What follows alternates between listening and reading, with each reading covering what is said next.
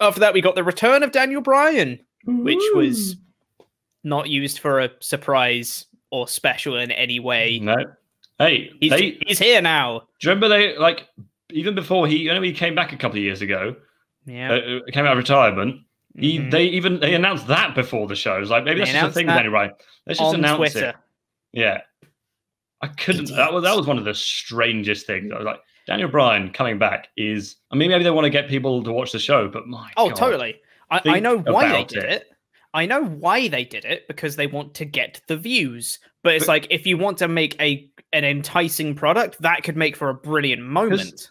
because he comes out to a pop anyway. People be going yes, yes, yes, yes, yes, because he's the he was the SmackDown general manager, and then but but if then you had just have him come out and go, by the way, I've just had a Hmm. word with the doctor. People be going, what? What? Rather than we know what he's going to say.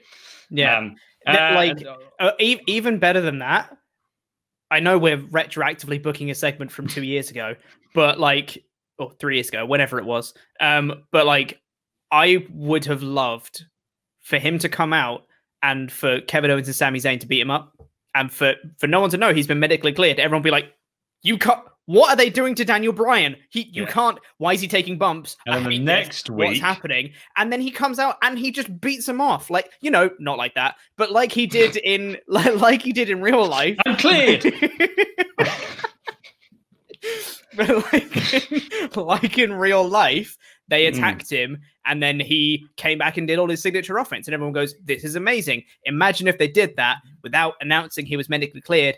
Then he got rid of him, and then got on the mic and said, "Oh, by the way, I'm medically cleared now." Everyone would go, "What?" Wow.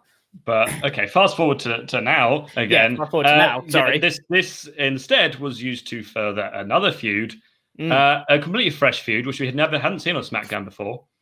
Um, it's a guy called You're not Seth wrong. We haven't seen it on SmackDown It's a guy called Seth Rollins uh, and a guy called Rey Mysterio, who up until now have been on the other brand, uh, Raw, I think it's called. Um, but uh, yeah, they are still feuding. Mhm. Uh, they have been feuding for months, and they are not going to stop feuding, apparently. Nope. Um,